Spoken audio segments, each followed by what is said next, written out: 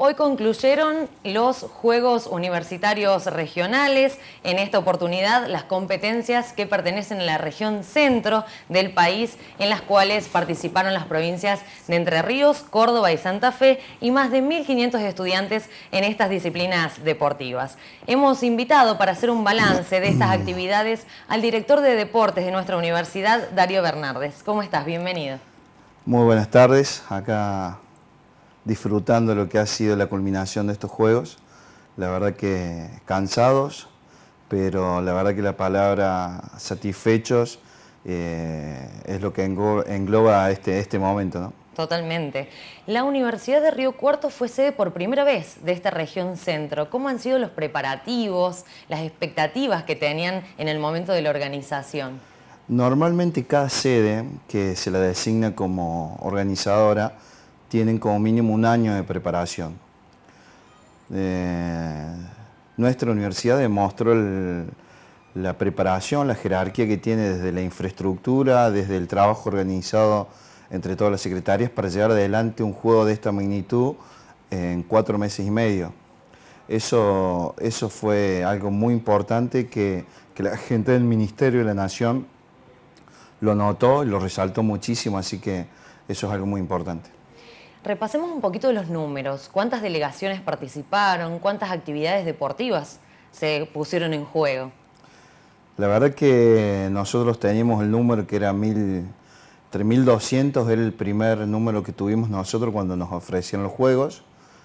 Cuando fuimos a la primera reunión con la Cámara de Hoteleros, con, con Fernando, con Sandro, gente que trabajó de la Secretaría de Bienestar eh, día y noche, la verdad que estuvimos trabajando muchísimo era entre 1.200 1.500 chicos. Y faltando 15 días nos enteramos que eran 1.600 chicos los que iban a estar participando. Y la verdad que dentro de las siete regiones que sirvió el país para estos Juegos, fue la más convocante. Así que eso también fue algo muy importante. Eran 12 deportes con, con su rama masculina y femenina que se transforma en 19 disciplinas. Así que bueno, 1.600 chicos estuvieron eh, caminando nuestra universidad, conociéndola, no solamente nuestra universidad, sino también a toda la ciudad. Tuvieron la colaboración de la Municipalidad de Río Cuarto y del Gobierno de la provincia en lo que es infraestructura, porque pensemos que 1.600 estudiantes practicando distintos deportes se necesitan campos deportivos. Sí, como decís, siempre tuvimos la predisposición del Gobierno provincial y de la Municipalidad eh, no podríamos haber hecho este evento sin la colaboración de ellos. Nuestra universidad y la Dirección de Deporte eh, aporta mucho y trabajamos mucho en relaciones institucionales día a día con ellos. Y bueno, fue el día de este evento que necesitábamos la colaboración de ellos y en ningún momento tuvimos ningún inconveniente. Así que bueno, y déjame resaltar también que un aspecto organizativo también muy importante fue que no solo tuvimos que organizarlo de acá, sino que tuvimos que organizar una subsede en Córdoba para alojar los chicos en Carlos Paz, que viajaran a Córdoba y compitieran.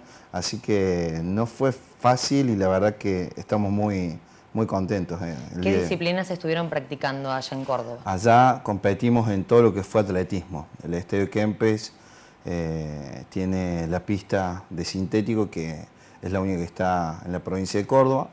Así que bueno, hemos iniciado las gestiones para, con la gente del Ministerio de Nación a ver si, podemos tener nuestra pista en nuestra universidad. Y la Federación de Deporte Universitario Argentino marcaba ciertos lineamientos también para guiarlos en lo que es la organización. Eh, la Pérez fue la delegada de, de, la Federación de Deporte Universitario y la verdad que se fue eh, con una con una visión totalmente grata de lo que fue, eh, fueron los Juegos, lo que fue el acto de apertura. Eh, eh, así que se fue con una visión muy buena, no solamente en lo que fue la organización, sino los espacios deportivos, los coordinadores que tenemos en cada cancha, el sistema de emergencia que tenemos a disposición en todas las canchas de juego. Así que se fueron con una muy grata imagen. ¿Cómo vieron el rendimiento de los estudiantes en las distintas disciplinas deportivas? ¿Cuál es la situación actual del deporte en las universidades nacionales? Eh, Este año eh, fue la delegación más grande que participaron en las Olimpiadas en Taipei, que tuvimos la oportunidad de que dos estudiantes nuestros participaran. Fueron 270 deportistas, fue la delegación más grande y año a año va creciendo a través de estos juegos, de esta importancia que se le da, de esta jerarquía que se le da en cada evento, en cada arbitraje. Nosotros trajimos árbitros de la Federación Cordobesa en lo que es handball, eh, la fiscalización de Córdoba para hacer todo lo que es natación, con software, eh, con placas de contacto, con cronómetros digitales. Eh, todo eso se lo pusimos a servicio de los chicos y eso va jerarquizando y que cada, cada evento vaya potenciando el deporte universitario para estar un poquito más cerca. Hay mucha diferencia con, con las grandes potencias, Estados Unidos, China, eh, pero bueno, de a poco nuestro deporte universitario va creciendo a pasos agigantados porque tengo la posibilidad de haber sido deportista, después sido profesor y colaborador y bueno, hoy me toca la función de, de director y ha avanzado muchísimo el deporte universitario a nivel competencia.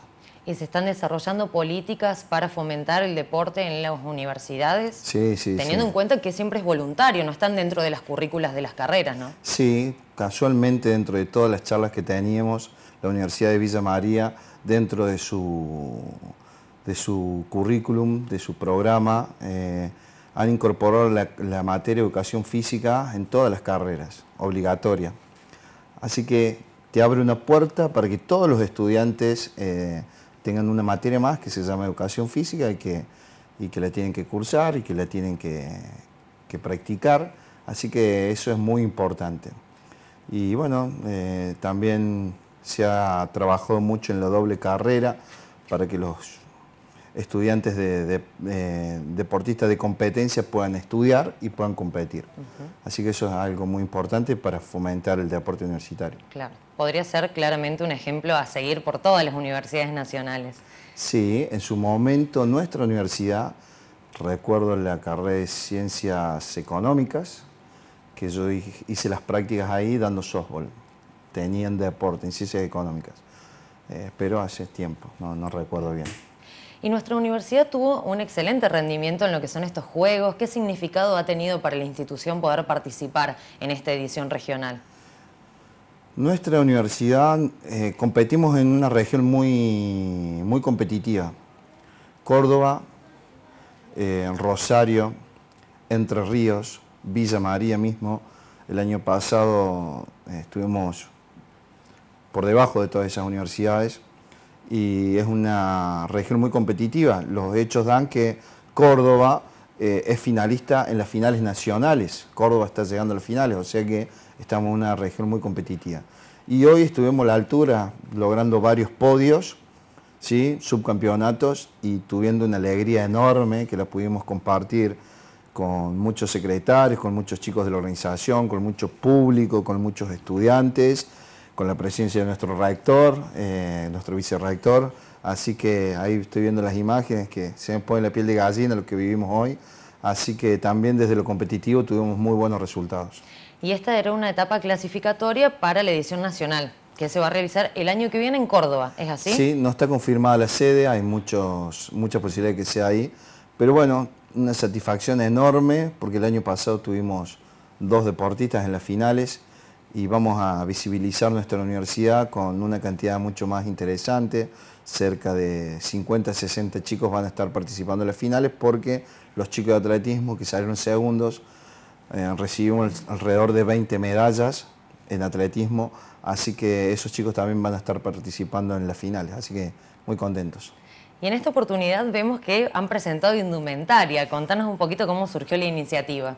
Con un esfuerzo muy grande desde los organizadores, con, con Fernando y con Sandro, que hemos trabajado, la verdad que día y noche, las horas de sueño han sido muy pocas de descanso eh, teníamos la idea, no en todos lados de las organizaciones se realiza, y, bueno, fueron las remeras que utilizaron los coordinadores, y, son, como le podríamos poner, un premio que le vamos a dar a toda la gente que ha colaborado con nosotros, y la verdad que en nuestra universidad todos participaron, participaron ustedes, participó la gente de la Guardia, que cuando empezaron a llegar 14 delegaciones con tres micros de 150 chicos, era algo, un espectáculo ver cómo estacionaron nuestros colectivos allá, la gente de salud, la gente de Secretaría Económica, los no docentes, los chicos del comedor, los cocineros. La verdad que la satisfacción que teníamos hoy, que la compartimos con nuestro rector y vicerrector, es muy, muy amplia porque todos se vieron involucrados y, y pusieron un granito de arena y la verdad que los mensajes de agradecimiento de las otras instituciones por cómo fueron atendidos fueron excelentes. Y bueno, ahora vamos a aprovechar a hacer un pequeño obsequio. Esta es la parte que más me gusta de la entrevista. Un pequeño obsequio Muchas a la compañera, ¿sí? Pero también tenemos para todo el equipo. compañeros que están detrás de cámara. Nos vestimos de juro. Que han hecho su trabajo ¿eh? y que han colaborado con nosotros en estas jornadas que, han sido, la verdad, eh, muy lindas y han dejado a nuestra universidad en lo más alto del nivel nacional. Bueno, Darío, muchísimas gracias por haber venido y ahora, después de tanto esfuerzo, a disfrutar. A disfrutar y a descansar. Totalmente. Muchas gracias.